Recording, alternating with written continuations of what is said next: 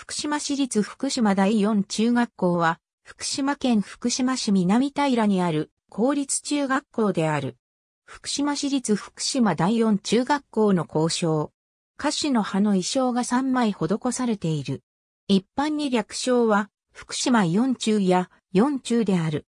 福島市の特徴である、福島盆地の中央に存在する忍山の南側中腹に位置しており、校舎までの長い道のりには無数のイチョウ並木がある。2020年5月1日現在、16学級457名の児童が在籍する。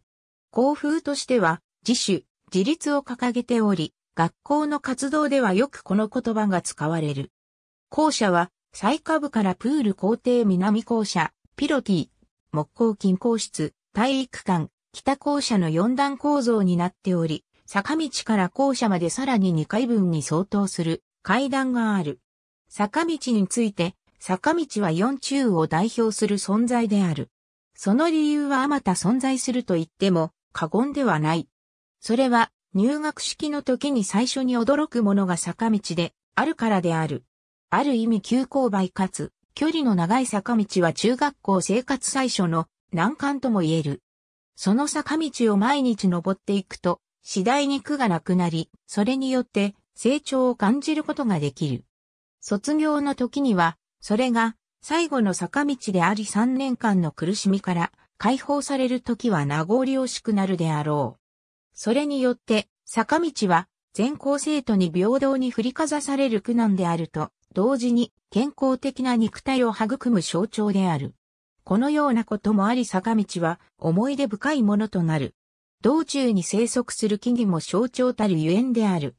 前述したイチョウは紅葉によって美しく変貌するが、その反面銀難による被害もある。坂道は全校生徒に配布されるしおりの名前にも、坂、道とあり至るところで坂道が象徴となっている。後期後期には歌詞の葉が描かれている。歌詞の葉が3枚描かれたものが図案化され、中央には4中の文字がある。歌詞の木は開港当時から自生しておりそのため描かれた。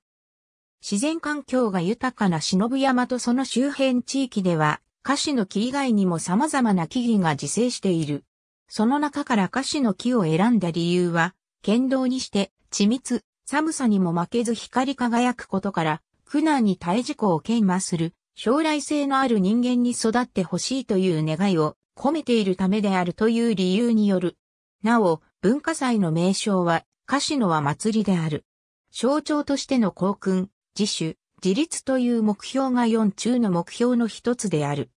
たびたび引用されるため様々な行事などで目にすることができる。これは上述している坂道の頂点付近に設置された石碑に刻まれており、まさしく象徴の一つである。文武両道を体現するべく活発な部活動が行われている。そのため、中大連では良い成績を残す部活動が多い。また、他の学校にはないものとして体操部などがある。短期間あるいは正式な部活動との掛け持ちが許されているものとして特設合唱部と特設駅伝部がある。前者は比較的一年中の活動し、男子は参加することができない。後者は夏季を中心に活動している。校歌は作詞、小林金次郎、作曲、小関裕二によって制作された。三番構成、四、四拍子であり、様々な学校行事の際に歌唱され全校生の象徴的な歌となっている。内容としては、四中から見える景色や生徒の健やかな成長を願った歌詞が中心的であり、ああ我ら心を合わせ四中の光か加減といった歌詞などは団結をすることの大切さ等が込められている。体育館のステージ前作法には歌詞のカードが掲げられる。小関裕二は福島県を代表する作曲家であり、市内の小中高校の校歌を作っていることが多い。応援歌は作詞、丸岡弘隆、作曲、兵士美穂子によって作成された。一番構成、4、4拍子であり、中大連等における壮行会にて歌唱される。応援委員会に所属する人が中心的に歌唱する。最終節では手拍子を叩く箇所があり、全校生での一体感が生まれるのが大きな特徴である。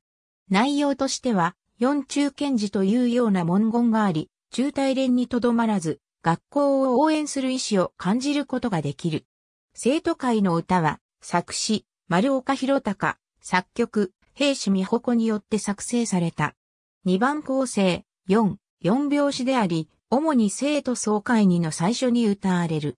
生徒総会の頻度と相まって歌詞を見ないで歌唱する生徒は応援歌と比べても少ない。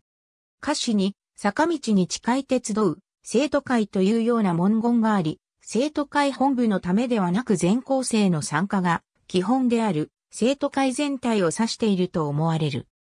この坂道という文言は、ある意味四中を象徴するものであり、それに近い集うものが生徒会であるなら、校訓である自主、自立の基本である生徒自治の精神にも合致する。学校施設として特筆するべきものを一家に記述する。近隣施設としては教育関連の施設が多い。